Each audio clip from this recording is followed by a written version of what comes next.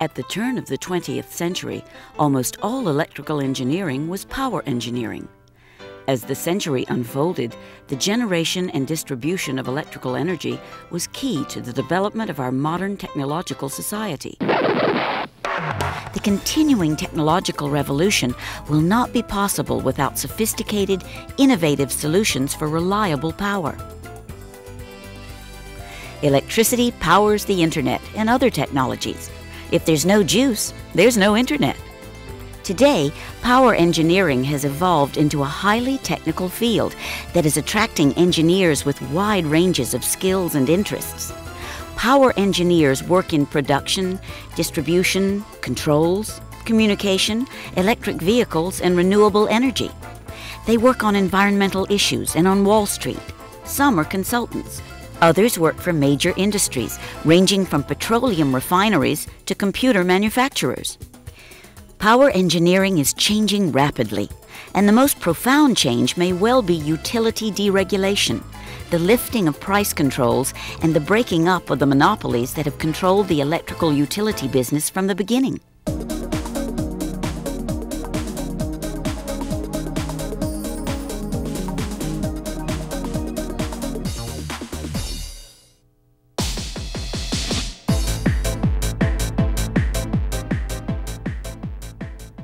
Power companies are going to have to go to a free market. They are going to sell the power to their customers within freer rules than they have done before. So the pricing, which wasn't a factor a few years back, now is a factor.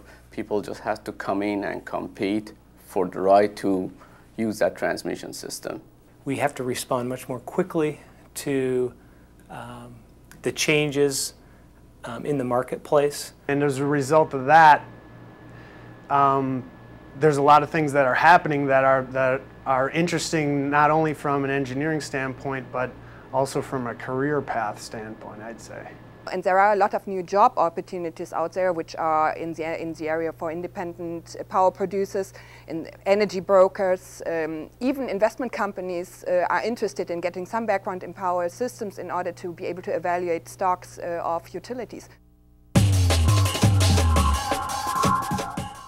Utilities may have a reputation as conservative and traditional, but today they're going high tech in a big way. This is Northern States Power.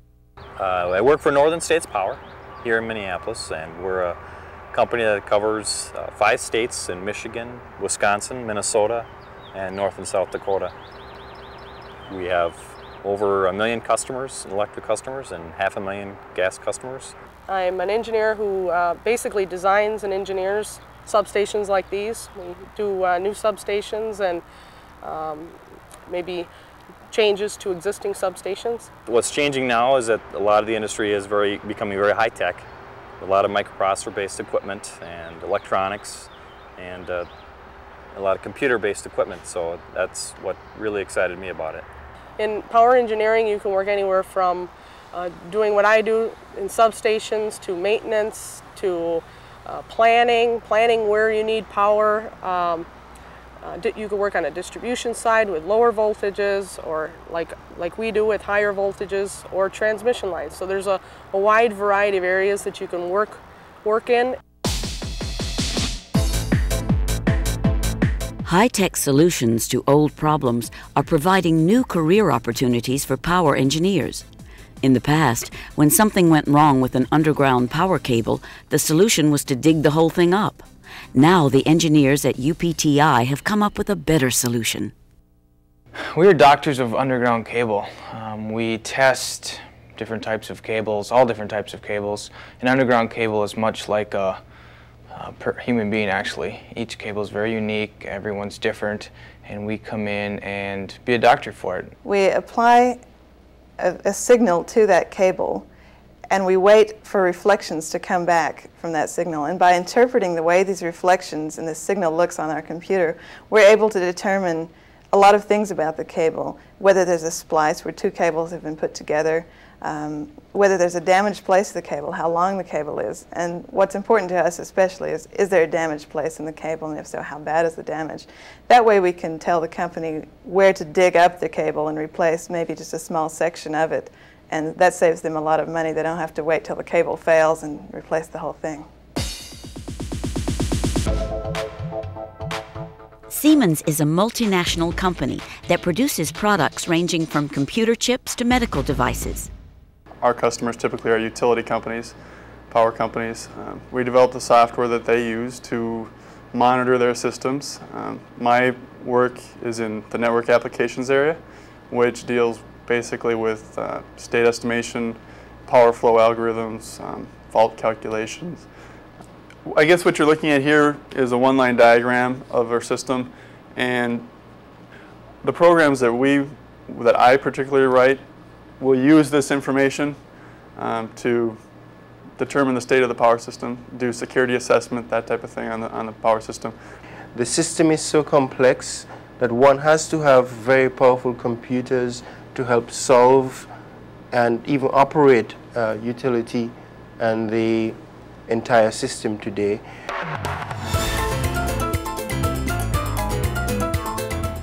Electric motors move everything from trains to elevators.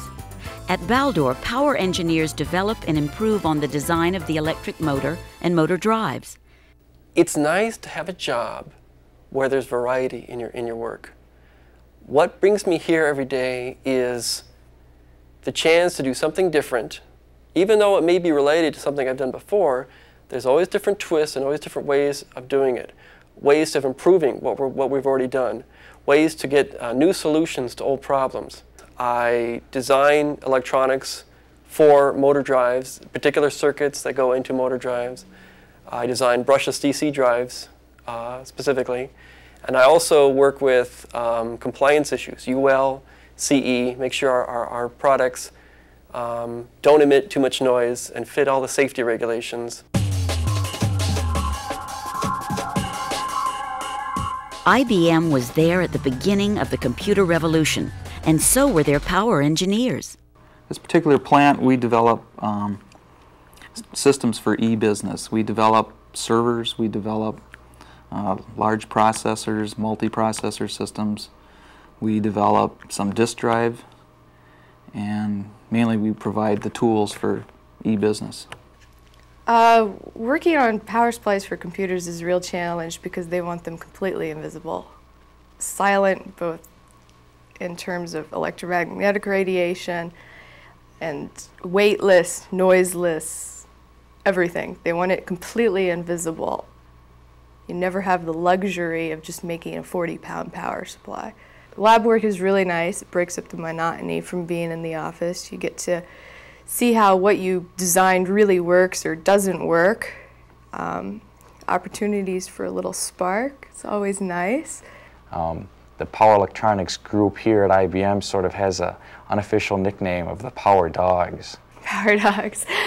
Um, I'm not real sure why they're dogs, but it's a pretty tight family and they really identify with each other and try to live up to their name of being able to deliver good products. Every large industry has a consuming need for power generation. The Exxon refinery at Baton Rouge is one of the world's largest petroleum refineries with a huge appetite for electrical power. I like uh, my particular position because I, I, have a real good diversity between computer work, uh, design work with drawings, and actually uh, going out in the field and, and, and, getting to work outside and, and really get to see my projects come to life. And as a power engineer, I get to interact not only with fellow engineers, but also uh, with the electricians out in the field who are doing the work, uh, with the, the contractors, and with other engineers in general, such as mechanical, civil, uh, chemical engineers. Deregulation has spawned many new leading-edge power software companies. Alstom hires power engineers to guide its software development, to market the product, and work with customers on installation and maintenance.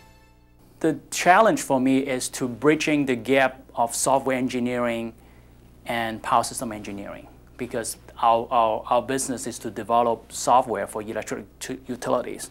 And a lot of power system engineering, uh, power system engineering uh, folks does not have a lot of software background. And on the other hand, the software folks may not have a lot of uh, engineering background to support uh, a, a, more consistent development of the software. I work uh, not only with software developers within Alstom ESCA, uh, but also with the end user, the customers, the end users of the software, um, helping them test it, helping uh, to install the software, helping to train them on, on how to use the software. Uh, it's a very challenging, exciting time because the power industry is demanding uh, highly efficient, uh, high performance, real-time applications to keep the, the power grid operating effectively and reliably. At the same time, they're dealing with the electronic commerce issues of how am I uh, opening up my communications to, to the internet. And as a result, one of the applications we've worked on is, is the world's largest e-commerce application for the reservation of transmission in North America.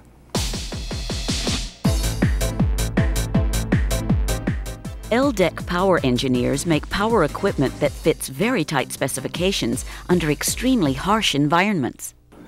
We, uh, we do power equipment, specialized power equipment for uh, aircraft industry, some military, some commercial. We make uh, battery chargers for aircraft. We make a, a kind of power supply that, uh, that produces the, the main 28 volt bus that's used in all airplanes. It's just a, it's, it's a basic power supply, it, but it's a workhorse and it provides the aircraft power for just about everything. Uh, avionics, uh, in-flight entertainment, uh, you know, lights the bathrooms, everything.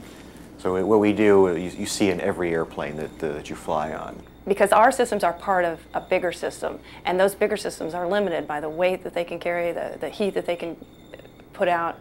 So we have a lot of constraints, and those constraints are getting tighter and tighter as the overall system constraints are getting tighter. So I say one of the biggest challenges is making our part of that system uh, the most efficient, the lightest, and the best thermally it can be. Black & Veatch is a multinational company whose power engineers consult with industries and utilities that want to build power plants. We also do some small um, retrofit type work. We'll do uh, some work for Chrysler, Ford, etc., uh, automotive in this area of the country. Right now I'm working on a combined cycle plant in Florida, which is it's a new power plant that has both combustion turbines and steam turbines. Um, the coolest thing is when you do go to the site and you see this, the, the scale of the things that you actually design. I mean, you stand next to a transformer and it's 30 foot tall. And it's like, wow, doesn't look like that on paper, you know? And I see a lot of different aspects, not just in power, but of all electrical engineering, because we touch on everything. I mean, there's electronics involved, there's communications involved, but it's all within the whole power area. Many of the new generation of engineers are committed to environmental issues. In the automobile industry, this translates into developing non-polluting ways of powering automobiles. Think Technologies, uh, or Think rather, is a new brand by Ford Motor Company. They wanted a way to separate the uh, environmentally friendly vehicles away from the normal internal combustion engines and give us our own identity. And Think is that new brand name, just like Jaguar or Ford or Lincoln or Mercury. I'm working on a, a fuel cell vehicle. That's uh, release date is, I, I, can't exactly tell you when it's going to be released, top secret. Uh, but it'll come out in, let's say, the next uh, six years. And it's a, a, a, fuel cell powered vehicle. And so you go to the gas pump and you, you fill up with hydrogen and you go down the street and the only thing that comes out of your tailpipe is uh, water and steam and uh, a little air. That's it. The greatest challenge of my job is probably figuring out which direction to head and what projects I take on because they're all so interesting. It sounds really cheesy, but it's really true. Um, uh, my department and the, the vehicle that I'm working on, there's so many interesting things that I'd, I'd love to get my hands into and, and learn about. My job uh, is in the EV or electric vehicle driveline engineering, and I'm responsible uh, for the program management in the uh, driveline area. Uh, and that is uh, coordinating with engineers, uh, suppliers, designers, draftsmen, uh, to make sure the product is functioning as designed. I'm oftentimes out in the garage or out back. Uh, there's travel involved often. Uh, sometimes if there's a concern in the field, we'll travel directly to the customer. Um, I think the coolest thing about my job is being able to work in a high technology environment, being at the cutting edge of technology, being able to work on things that you know Uh, regular people uh, don't even know about yet and they're going to see on the road five years from now and think of, boy, I wonder how they did that. That must have been difficult. Or, man, that's really fascinating. To be on the front end of that kind of technology, it's really nice. There's a lot of applications that go on in power engineering, computers, telecommunications, um, economics, and so while you're going to use your traditional electrical engineering background, you also want to be flexible and see how these things affect the actual engineering side of the job it is necessary for students now to know that power engineering in the past has changed and that aspects of financing and marketing play a big role you know, because of deregulation. I would give the advice to get a global foundation. There is a tendency nowadays, students always want to be, want to be the specialist in the one hot uh, area, uh, technical area, which might be a programming language or a certain computer tool or a certain uh, power system application. I do think undergraduate studies uh, are there to give you a global background and to prepare you uh, to do lifelong learning, to uh, acquire new knowledge whenever it is necessary. You have to be adaptive and flexible in order to adapt to the changing industrial uh, environment. And the last thing, you have to be able to communicate your technical knowledge to other technical, non-technical colleagues. So having good uh, communication skills, uh, writing even a second or third language uh, would be very, very important uh, for the future of uh, uh, undergraduate power system engineer. There's a lot of new things happening in electric power. Um, deregulation is changing some of the market dynamics, and whenever that happens, people are looking for new ways to make money, to save money. I think you have to have a, a larger understanding of, of a lot more technologies to do power electronics than you do just, say, processor development or memory development. It requires that you understand the analog portion of designing something. It requires that you understand the digital portion.